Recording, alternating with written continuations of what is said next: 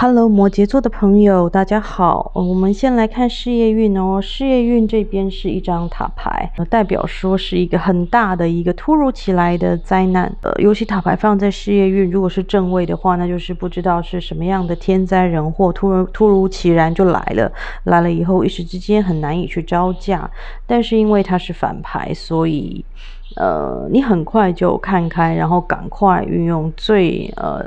停止损失的方法去解决这件事情。刚刚好呢，你的罗曼牌呢，一张是十字架，一张是蛇。这个十字架呢，暗示着说这件事情本身就是命运。你现在碰到的这一个很大的危机，基本上就是命运的安排，它是。呃，很难逃离的命运的安排。如果是这个时机，那大概就是疫情啊。嗯，它就是一个很大的困难，但是它对你而言也是一个很大的测试，对你的能力，对你的灵魂来说是一个很大的呃审讯，一个很大的挑战。只要呢你保持的信念，你就可以度过这个困难挑战，就可以度过这个灵魂暗夜。它的发生的时间是极快的，能量也是极度负面的。可是，如果是财政上有问题的话，那么很快的会有人给你援助。呃，这是一个部分。如果只有这张牌，应该是会有援助。但是你这边又有一只蛇，那又有一个七号牌，那可能就是呢，你这份援助呢，就是有欺骗的嫌疑。因为宝剑七嘛，刚好你旁边也有宝剑，所以有可能这份援助很快的又被撤回。这个要因人而异，因为每一个人的状态不一样。那这个是比较大众的状态嘛。总之。嗯，它确实是一个很大的一个挑战的一个事业运。不过这张牌卡，呃，马玉兰，它的出现却是代表说，其实你很喜爱你目前的事业，你也非常喜欢你目前的工作，呃，你几乎是把它当做兴趣在经营的，这是绝对是可以肯定的，而且。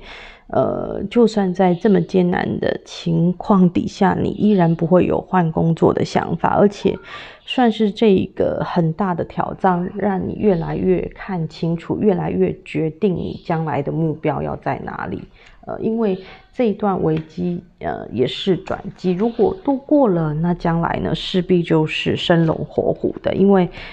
在最难的时候都可以做得好了，等到牛市的时候，一定会做得非常好嘛。呃，应该你的能力是不错的，因为这个蛇也代表呃有背信弃义，然后问题很复杂，然后有人在嫉妒你，有人背叛你，里面的有一些羡慕、嫉妒、狡诈、诡异，然后比较负面的一个一个剧情。然后这里是一个女人，所以主导这一切的那个比较负向的能量，可能会就是一个一个。贵妇级的一个女性吧，但是她是一个很难相处的女人，就是一个比较高贵的。你看她衣服穿的很好，就是一个日子过得还不错的女人，但是她难以相处，然后她会给你，嗯，一些空头支票。其实大部分来说，她都是不值得信任的。还是有一部分的人呢，你是可以渡过难关的。不过碰到这些呢，确实就是命运。好了，我们来看感情运哦，感情运一这边。是醒木薰衣草，代表其实都是你在付出，都是你全心全意在付出。然后他给你的爱是花而不实的。如果你这张圣杯一不没有蛇的话，那无疑的会是还是好的感情，因为圣杯一就是满满的爱嘛。但是你的圣杯又有一只蛇，那几乎。就是他有一种在欺骗你的感情的感觉，然后你这边又有一只蛇，又有七号，又是欺骗，所以这个欺骗的能量是非常的旺盛的。然后再加上这个三十五号牌，呃，虽然比较中性，但是很缓慢，然后很稳定。很长久的老夫老妻，我觉得那是 OK。那因为就是你就是很长期的为你的家人付出嘛，你就是家庭的中流砥柱嘛。我觉得那是安定不变的、持久的、安全的、稳固的能量，那是 OK。但是如果是呃刚认识没多久的单身还在谈朋友的，那就比较不建议，因为感觉上这个都是就是一定是你这一方付出给他会是比较多的，这个是是确认，就是你比较爱对方的这一点是绝对可以可以肯定的，而且这个这个如果对方是一个女性，或无论是女性还是男性，反正他一定都是，尤其是女性啊，因为你这边有个女性，她绝对都是花而不实的，就是很爱玩，很爱美，然后呃你要赚钱供养她。然后他做的事业也是不会赚钱的事业，虽然他的企划能力很强，但是他的执行能力很差。总之而言之，那不是一个很好的对象。呃，你会一直不断的为他付出。目前的能量是这样，但如果我说过，如果长久以来就是已经结婚了，那有些人的姻缘就是这样，那无可厚非。那如果就是还在谈朋友，就考虑一下。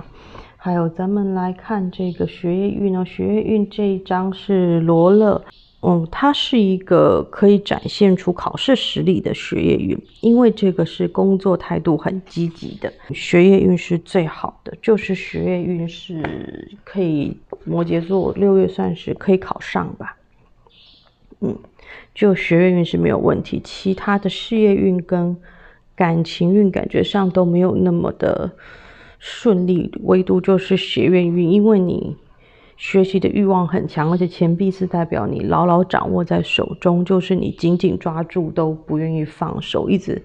很谨慎的去守成，然后绝不改变的那种能量。你就什么东西你学到了，你就一定要把它背熟，紧紧的抓住了这种感觉。嗯，那确实你学习的欲望也是不错，然后再加上这个权杖七，就是。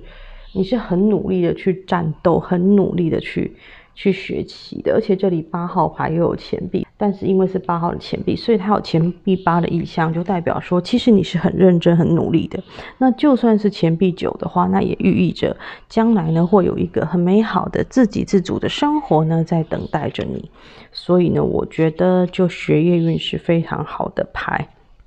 只是你要注意一下你的身体健康，因为。这个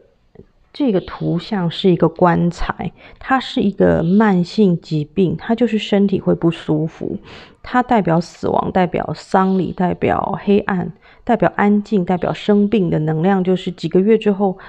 嗯，这个能量才会慢慢的淡去，这能量比较负面，而且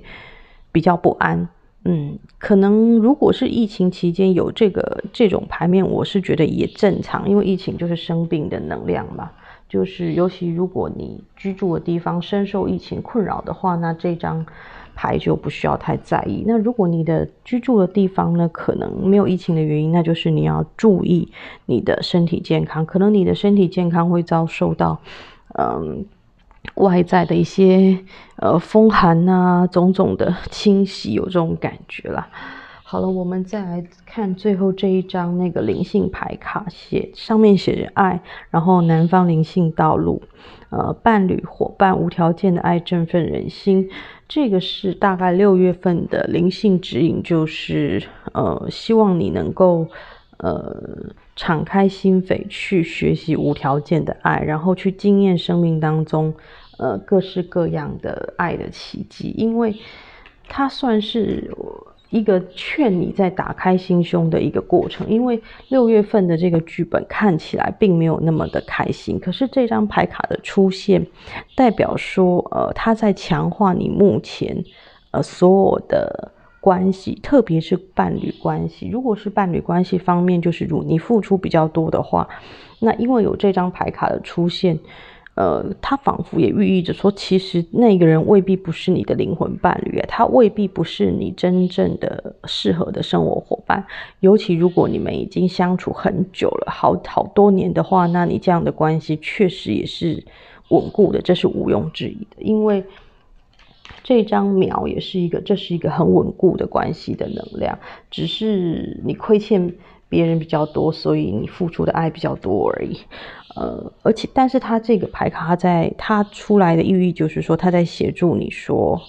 呃，尽量的让这一个关系活化与强化，而且让彼此都能够绽放比较纯洁的爱，就是让两方的情绪呃都是非常的流畅的，然后都是对对方呢都是非常呃自然而然的去欣赏的，呃。所以呢，在这样的时刻里面，如果是最后这张灵性牌卡出现的话，那感情运的话，大体上也是不需要去烦恼你跟你伴侣的未来，你只需要顺顺从你的内心，并且让爱去引导你。那通过无条件的爱，无论多差的伴侣关系，到最后都会转变，因为呃，愿意付出就比较不会有挫折嘛，嗯。因为你自己都愿意接受，而且假设已经磨合很多年的话，那绝对就是在那个过程中，你还是有学习到，你才会那么欢喜甘愿的去付出嘛。所以，呃，大体上来说，这个也代表着，呃，你已经走上了创造幸福的一个道路。而且，你看这个，这是这是一对，这个这个是假一只公的，一只母的，然后。各自就是在他的位置去守护他们想守护的价值。那如果是这个样子的配合的话，那也是无可厚非。确实有一个部分会付出比较多，但是没有关系，因为这个就是你们讲好的一个互相配合的一个条件。而且，或许你们的爱的故事一旦分享出来，也是非常振奋人心的。好了，那我就解到这里喽，希望对大家有所帮助，拜拜喽。